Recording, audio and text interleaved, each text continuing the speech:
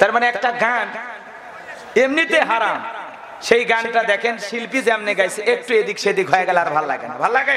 এই কথাটা আমি কেন বললাম?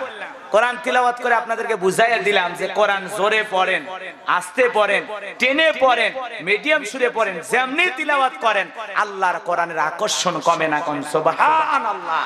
আর একটা গান দুই দিন, তিন দিন এখন আর কোনো গান চলে না। কথা কন না খেয়ে কথা কন না খেয়ে মন খারাপ করছেন আপনারা? অনেকে করছেন, হুজুর গান নিয়ে গবেষণা করছেন, কোরআন হাদিসের ওয়াজ করবেন না। এটা একটু বুঝানোর জন্য বললাম। এটা একটা উদাহরণ। আর একটা গান। একটা গান কয়েকদিন ভালো লাগে? দশ বার, বিশ বার, পঞ্চাশ, একশো বার। গান নামলো, কয়, বন্ধু, তিন দিন তোর বাড়িতে গেলাম, দেখা পাইলাম মানুষ চিন্তা করে, তিন দিন বাড়ি যা যা দেখা হয় না, এই বাটপারের সাথে বন্ধুত্ব রাখলে ও গাড়ি ভাড়া দিয়ে জীবন শেষ হয়। কথা বলছেন না? এরপরে এক মহিলা গান নামাইলো। কয়, কাল তো ছিলাম ভালো, আজ আমার কি হলো বলতে পারি না। মানুষ চিন্তা করে, যে মহিলা গতকালকের কথা আজকে কর পারে না তো স্বভাব ভালো না। কথা কন না কেন? এই গানে কিছুদিন পরে বাতিল হয়ে গেল, চলল না। এরপরে শিল্পী এসে কয়, দেখা না হলে একদিন বুকের ভিতর করে চিন চিন চিন। মানুষ চিন্তা করে, এ তো কঠিন একটা রোগ, বুকের ভিতরে চিন চিন করা মানে হার্টের রোগ। কথা কন না খেয়ে মানুষ করছে না, এই গান গাওয়া যাবে না। কয়েকদিন পর ওই গানও বাতিল হয়ে গেল। এরপরে এক একটা শিল্পী আসলে এক একটা গান। এক শিল্পী এসে কয়, ও প্রিয়া, তুমি কোথায়? শয়তান তোমাকে খুঁজতেছে। কিছুদিন পরে মানুষ ওই গান আর শোনে না। এরপরে এক আপা, ও গান নামাইলো, কয়, বন্ধু, যখন বউ লই আমার বাড়ির সামনে দিয়ে রঙ্গ করে হাঁটতে যায়, ফাটতে যায় সিরে যায়, তালি দেওয়ার কোনো বুদ্ধি নেই। মানুষ চিন্তা করে, বন্ধু, যদি বউ নিয়ে যায়, তা বান্ধবীর মনত কষ্ট হবে কে? কথা কর না কে? বউ নিয়ে যাওয়া, শরীয়তে জায়েজ না হারাম। জায়েজ, সম্পূর্ণ জায়েজ। বউ নিয়ে যাচ্ছে, এই লোকটা জায়েজ কাজ করছে, পর্দা সহকারে। কথা কোন ঠিক কিনা? কিন্তু বউক বাদ দিয়ে বান্ধবী নিয়ে ঘুলে গুনে আসে না নাই? এ কথা বলেন, আছে না নাই? তার মানে এর গানটা ইসলামের পক্ষে না বিপক্ষে? এই গানটার কথা আমি বলতে চাই, শিল্পী যেভাবে গাইছে, বন্ধু যখন বউ লইয়া আমার বাড়ির সামনে দিয়া রঙ্গ কইরা হাঁটতে যায় হাঁটতে যায়। এই যে শিল্পী এইভাবে গাইছে গাইছে না? এখন এইটা যদি আপনি মনে করেন টানে টানে টানে টানে গাইবেন। তার মানে একটা গান এমনিতে হারাম। সেই গানটা দেখেন শিল্পী যেমনি গাইছে, একটু এদিক সেদিক হয়ে গেল আর ভালো লাগে না। ভালো লাগে? কথা কন ঠিক কিনা? এই কথাটা আমি কেন বললাম? কোরআন তিলাওয়াত করে আপনাদেরকে বুঝাইয়া দিলাম যে কোরআন জোরে পড়েন, আস্তে পড়েন, টেনে পড়েন, মিডিয়াম সুরে পড়েন, যেমনি তিলাওয়াত করেন, আল্লাহর কোরআনের আকর্ষণ কমে না কোন সুবহানাল্লাহ।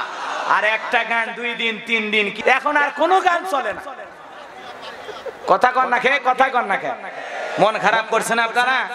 অনেকে করছেন, হুজুর গান নিয়ে গবেষণা করছেন, কোরআন, হাদিসের ওয়াজ করবেন না। এটা একটু বুঝানোর জন্য বললাম। এটা একটা উদাহরণ। যেই গানের ভিতরে বাদ্যযন্ত্র থাকে না, অশ্লীলতা থাকে না, শিরিক বিদাতের কথা থাকে না, কোরআন, সুন্নার বিরুদ্ধে থাকে না, এমন গান গাওয়া বাদ্যযন্ত্র সারা হালাল। জায়েজ। কথা কন না এই যে ছেলে পেলে কি সুন্দর সংগীত গায় শুনলেন না? কথা কন না? এই যে ভালো ভালো, আপনাদের এলাকার রকুনুজ্জামান ভাই আছে, শিল্পী, কি সুন্দর গান গায়, ভালো লাগে না? কথা কর না কেন? এরপরে শিল্পী মশিউর রহমান ভাই আছে, গান গায়, ভালো লাগে না? কি সুন্দর গান, গানের মধ্যেও মজা আছে, কি সুন্দর সুর, কি সুন্দর, কোনো বাদ্যযন্ত্র নাই, শিল্পীর কণ্ঠকে হার মানায়, কথা বলে ঠিক কিনা? কি সুন্দর গান পাই আমি যদি কোনো দিন পদ ভুলে যাই, হাত সানি দিয়ে কাছে নিও, মমতার বন্ধনে আমাই বেঁধে, সব ভুল ক্ষমা করে দিও। আমি যদি কোনো দিন পদ ভুলে যাই, আল্লাহ একবার জেনে না জেনে কত করি অপরাধ। কখনো করো না তুমি বাদ প্রতিবাদ। জেনে না জেনে কত করি অপরাধ। কখনো করো না তুমি বাদ প্রতিবাদ। তোমার দয়ার সীমা নাই নাই নাই। তোমার দয়ার সীমা নাই নাই নাই। সেই দয়া পেতে আজ কাঁদি আমিও। মমতার বন্ধনে আমাই বেঁধে, সব ভুল ক্ষমা করে দিও।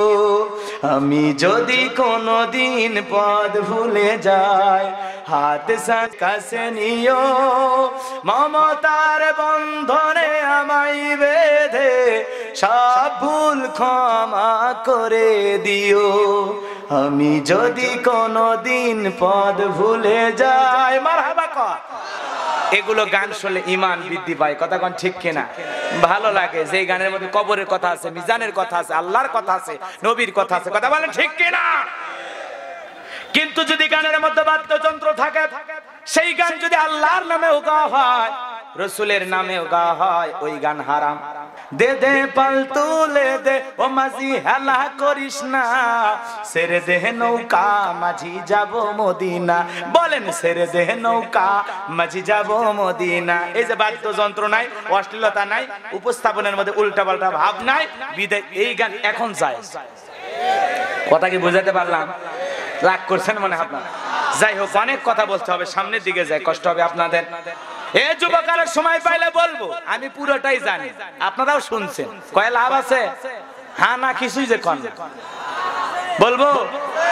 কারা কারা হাত তোলেন তো দেখি। ওরে বাবা তাহলে তো ক লাগবে যে হুজুর একটু গান? গাইবো গাইবো? দে দে দে। ও মাঝি হেলা করিস না, সেরে দেহ নৌকা, মাঝি যাব মদিনা। বলেন, সেরে দেহ নৌকা, মাঝি যাব মদিনা। মক্কাই নবী এলো মায়া মেনার ঘরে, হাসিলে হাজার মানি কাঁদিলে মুক্ত ঝরে। আল্লাহ আকবার। মক্কাহি নবী এলো মায়া মেনার ঘরে, হাসিলে হাজার মানি কাদিলে মুক্ত ঝরে। দয়ার আল্লাহ যারা সকা, তার কিসের ভাবনা? দয়ার আল্লাহ যারা সকা, তার কিসের ভাবনা? হৃদয়ে মাঝে কাবা, নয়নে মদিনা। আমার হৃদয়ে মাঝে কাবা, নয়নে মদিনা। দে দে, পাল তুলে দে, ও মাঝি হেলা করিস না। সেরে দেহ নৌকা, মাঝি যাব মদিনা। বলেন সেরে দেহে নৌকা। অনুরের রৌশনীতে দুনিয়া গেছে বরে অনুরের বাতি জ্বলে মদিনার ঘরে ঘরে। আল্লাহ আকবার। অনুরের রৌশনীতে দুনিয়া গেছে ভরে। অনুরের বাতি জ্বলে মদিনার ঘরে ঘরে। দয়ার আল্লাহ যার সকা, তার কিসের ভাবনা? দয়ার আল্লাহ যার সকা, তার কিসের ভাবনা? হৃদয় মাঝে কাবা নয়নে মদিনা। আমার হৃদয়ে মাঝে কাবা, নয়নে মদিনা।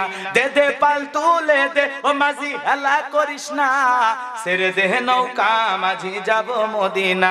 বলেন, সেরে দেহ নৌকা, মাঝি যাব মদিনা। বলেন, সেরে দে নৌকা, মাঝি যাব মদিনা। আমার আবাকর এ মুসলমান আল্লাহর গোলাম। সাতক্ষীরা তালা থানার বাবাজিরা। মহিলা প্যান্ডেলে মা বোনা সে তাদের কিন্তু আলোচনা ভুলে যায় না। তাদের জন্য স্পেশাল কিছু ওয়াজ করা দরকার আছে না নাই? মা বোনদের জন্য ওয়াজ করা দরকার। ওরা বারবার আমাদের দেশের সরকার সংসার জ্বালায় পুরাই করে দিল সরকার। আজকে একটু আলোচনার মাধ্যমে সাতক্ষীরার মা বোনদের হালকা বোঝানো দরকার। এজন্য মা বোনেরা টেনশন নেবেন না। অল্প সময়ের মধ্যে আমি গোলাম রব্বানি আপনাদের ওয়াজ করে দেব শুরু। কারণ আপনারাই হলেন ঘরে বাইরে আমাদের নাটের গুরু। না বললেও ঠিক। অনেকে করছেন না ঠিক। না বললেও ঠিক। এমনও পুরুষ আছে, বউ যদি কয়, দাঁড়িয়ে থেকে পেশাব করো তাই কর। বইয়ের দিক চোখ তুলে তাকাবার পারে না। বউ কয় কার দিক তাকাইছিস? আগে তিন লাখ টাকা জমা দে। যৌতুক নিচ্ছে তিন লাখ। এজন্য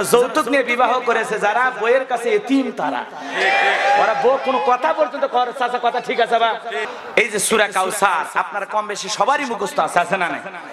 কোরআনের ভিতরে আল্লাহ এমন একটা মধু, এমন একটা আকর্ষণ দিয়েছে, সেই ছোট্টবেলায় বাবার হাত ধরে মসজিদে গিয়েছিলাম, তখন থেকে ইমাম সাহেবের কণ্ঠে শুনেছি সুরাতুল ফাতেহা।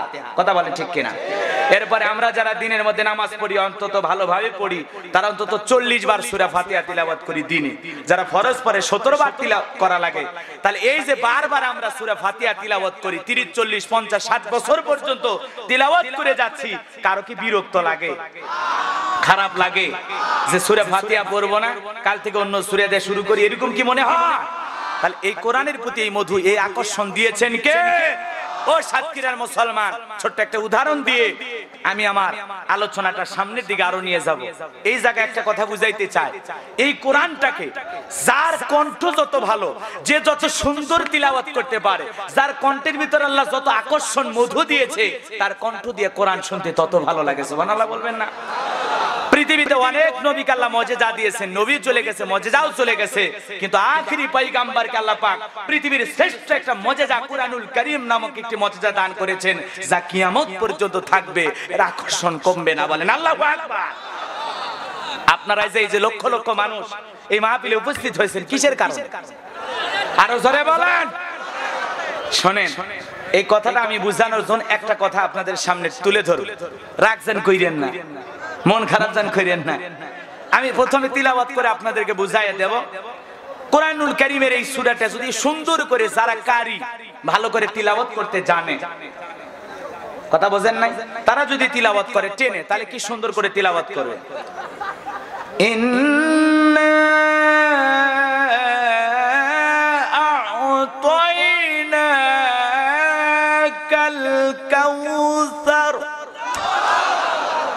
فصل لربك وانحر إن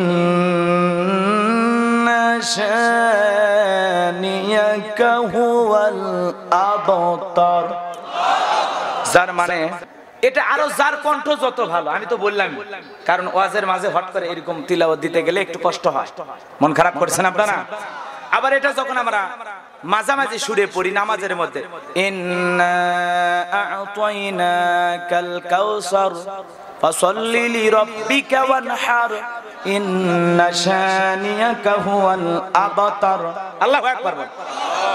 আগের চাইতে এটা কি খারাপ লাগছে?